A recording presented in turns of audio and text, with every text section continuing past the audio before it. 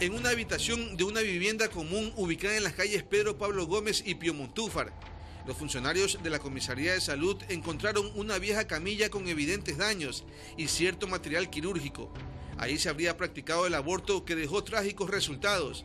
Las muertes del feto y de la madre Yusmeri Navarro Farías. En este lugar, en el segundo piso, funcionaba una pseudo clínica clandestina donde se ha producido la muerte de una persona de sexo femenino, aparentemente producto por las maniobras eh, de carácter eh, abortivo. Los policías revelaron que el encargado de la intervención no cuenta con título médico y apenas habría estudiado hasta el tercer año de la carrera. La persona fue trasladada por orden de la Fiscalía hacia las instalaciones de la DINASED para tomar las, las primeras versiones del hecho. Tiene una persona que le ayudaba aparentemente familiar de este señor que también fue llevada. El enamorado y la madre de la víctima aseguraron que tenía 14 semanas de gestación, pero no indicaron el motivo por el que la joven decidió practicarse el legrado. Arriba han visto que tienen camillas, tienen todos los complementos para hacer un aborto, pero no, pero nunca hicieron examen a la chica, sino hicieron directamente el aborto, y lo hicieron por medio de cesárea. El Código Orgánico Integral Penal establece una pena privativa de libertad de 7 a 10 años